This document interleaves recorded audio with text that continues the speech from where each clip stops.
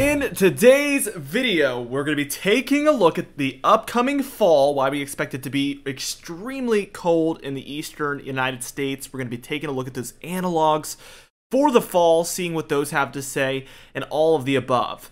Uh, now, before we get into things, I have to tell you guys about my business, Prestige Weather. I did want to mention to you guys my new business Prestige Weather has been doing so well. So many of you have been joining, and it's just been great to be able to share extra weather knowledge with you guys. You can find that in the pin comment and description down below. We just did an early release of our actual July forecast. So that goes for the temperature, precipitation, and overall forecast. We released that early in there for our premium members.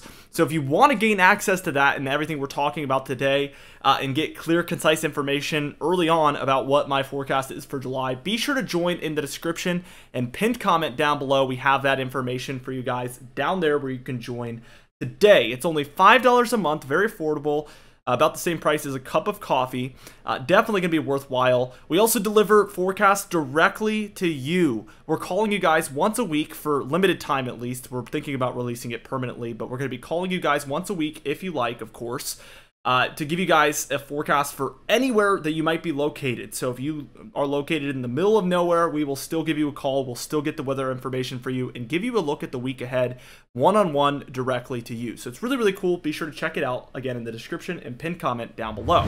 Now, here we are taking a look at the previous 30 days. I want to talk about why things have been cold and kind of why we expect it to continue uh, through the coming weeks and even months, as I mentioned, as we're expecting a colder fall as well. So as we take a look at things, you can see that we do have colder temperatures along the eastern seaboard. Same thing for the southwest here. And this is about 60, 75% of the nation right here in these two blue areas that have been colder than normal this summer.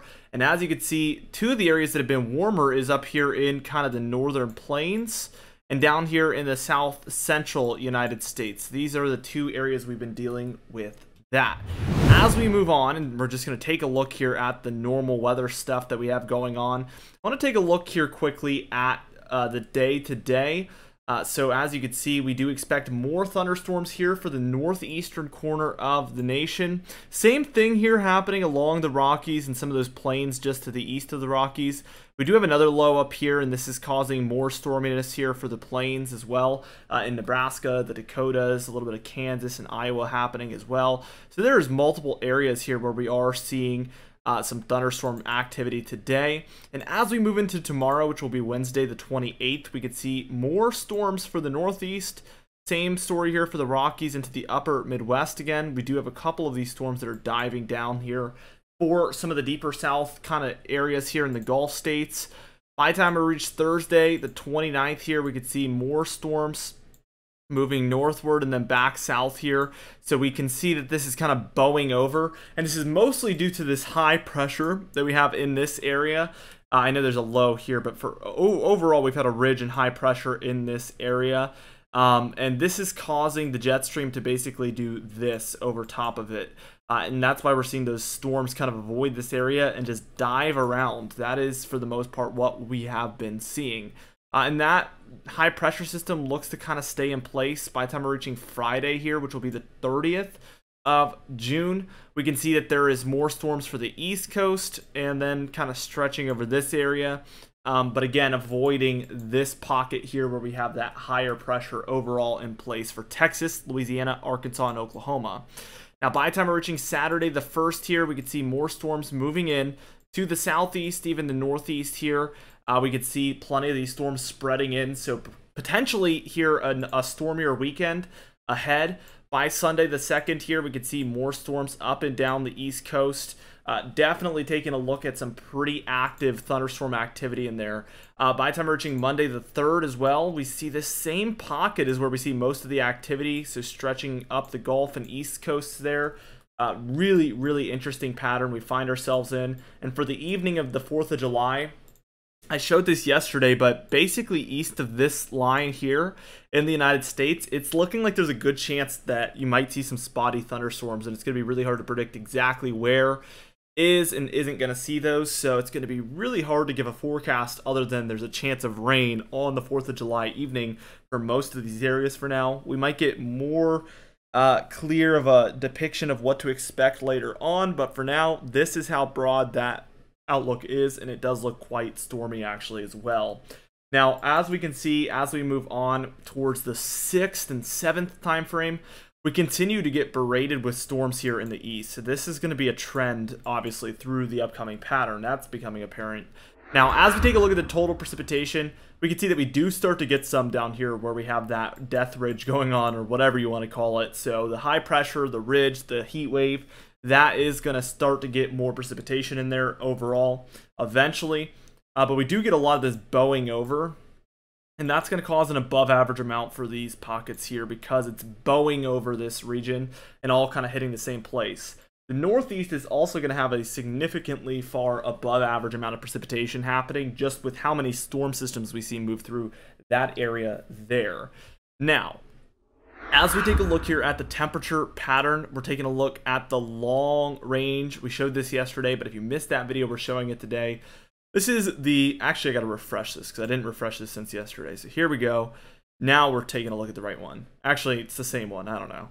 Anyway, so we're taking a look at the 26. Let's just move it forward, 27 through the 4th. How about that? And we can see some colder air here. Definitely some colder air here where things have been historically cold.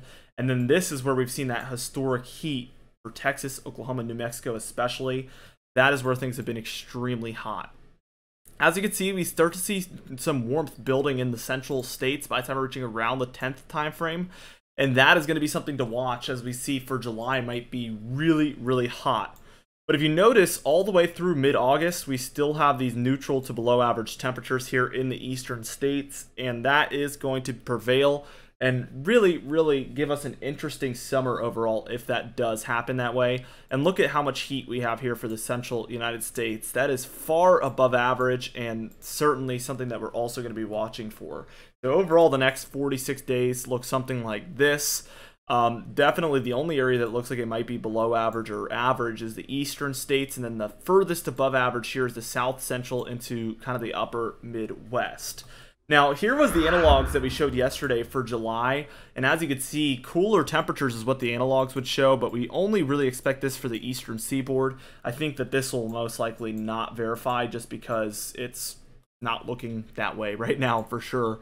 Uh, the uh, precipitation, we see an above average amount for this pocket here, and this is fairly on point, you know, with what we're expecting to see in the upcoming pattern. I'd say the only thing is that we do get quite a bit still for the southeast here.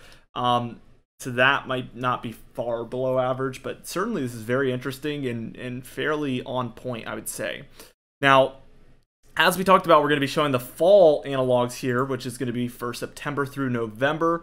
And as you can see, we do anticipate cooler air heading in for the fall here for both the central and the eastern United States with a positive PNA pattern, which would look like this.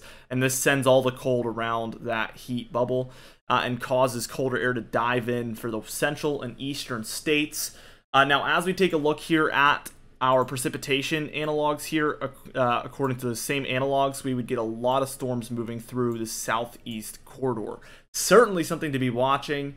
Um, and this could mean a lot of precipitation, a lot of cooler air is upcoming in the fall this year for September through November. Anyway, guys, thank you so much for watching the video. Again, you can check out the July, official July forecast early uh, by checking it out in Prestige Weather. So you can join by using the pin comment and description down below. I'd love to talk to you guys in there and see you there. Be sure to subscribe for daily uploads just like this one. Also, you can hit the bell icon for daily notifications when we upload so you never miss one. Be sure to like the video if you did enjoy it, leave a comment down below, and I'll see you guys in the next video.